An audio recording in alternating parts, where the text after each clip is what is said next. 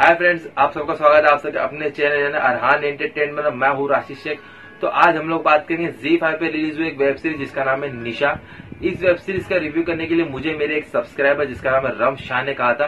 तो चलिए बात करते हैं कि वेब सीरीज़ कैसी है और आप लोगों को देखनी चाहिए या नहीं चाहिए। लेकिन वीडियो को आगे बढ़ाने से पहले मैं आप लोगों से रिक्वेस्ट करता हूँ कि अगर आप लोगों ने मेरे चैनल को अभी तक सब्सक्राइब नहीं किया तो चैनल को कर दे सब्सक्राइब और जो साथ ही बेल आइकन उसे भी कर देना प्रेस और हाँ आप मुझे चाहे तो इंस्टाग्राम पर भी फॉलो कर सकते हो। डिस्क्रिप्शन में आपको लिंक मिल जाएगी। तो शुरू करें हमारा आज का वीडियो तो इस वेब सीरीज़ की बात करते ये वेब सीरीज़ आपको हिंदी और तमिल दोनों ही लैंग्वेज में मिल जाएगी जी फाइव पर।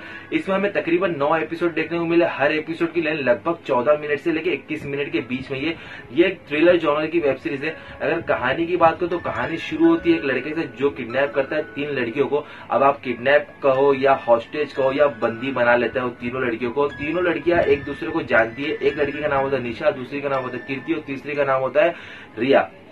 तीनों ही तीनों फ्रेंड है। अब उस लड़के ने इन तीनों को किडनैप क्यों किया? बेसिकली यही आपको जानना और ये नौ एपिसोड में आपको यही बताया कि वो लड़का उन लोगों को किस तरीके से टॉर्चर कर रहा है और उसमें से कौन एस्केप होता है उस रूम से और कौन नहीं होता, कौन वहाँ पर मर जाता है। यही बेसिकली आपको पूरे नौ एपिसोड में बताया गया। और जो नौवे एपिसोड में जो ट्विस्ट उनके हिसाब से जो ट्विस्ट है, वो ट्विस्ट जानकर आप लोग हैरान हो जाए। क्योंकि जब वो ट्विस्ट आपके सामने आता तो आपको ऐसा लगता है कि इन लोगों ने बहुत बड़ा आप लोगों को चूतिया बनाया। लेकिन जिस तरीके से बनाना चाहिए था, उस तरीके से बनाया नहीं है। आपको ऐसा लगता है कि एकदम लो बजट की वेब सीरीज़ क्योंकि मोस्टली जितने भी सीन्स है, वो एक ही कमरे के अंदर है, या तो एक ही बंगलो के अंदर है, और उसके अलावा अगर बाहर के सीन्स बताएगा तो एक केमिस्ट यानी कि एक मेडिकल का सीन बताएगा दूसरा उस बंगले के बाहर जो रोड होता है, उसका सीन उसके अलावा इसमें कुछ भी सीन नहीं है तो एक लो बजट की वेब सीरीज़ मैं आपको पहले बता रहा हूँ। और परफॉर्मेंस के मामले में बोलूँगा तो लड़का है, भाई इतनी ओवर एक्टिंग किया कि मैं आप लोगों को बता नहीं सकता। फुल टू ओवर एक्टिंग किया उस लड़के ने।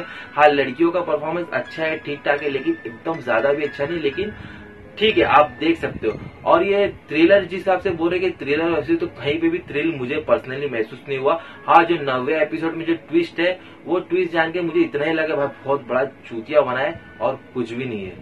तो अगर आपको ये वेब सीरीज़ देखना तो आप इसको देख सकते हैं। ये मेरे इस वीडियो में इतना ही। अगर आपको कोई वेब सीरीज़ का रिव्यू चाहिए तो आप मुझे कमेंट सेक्शन में रिकमेंड कर सकते हैं। मैं उसका रिव्यू ज़रूर करूँगा। तो यार, इस वीडियो में इतना ही। इस चैनल को ऐसे ही अपना प्यार देते रहिए। मैं मिलूँगा आपसे कल किसी नए वीडियो में। चल जाए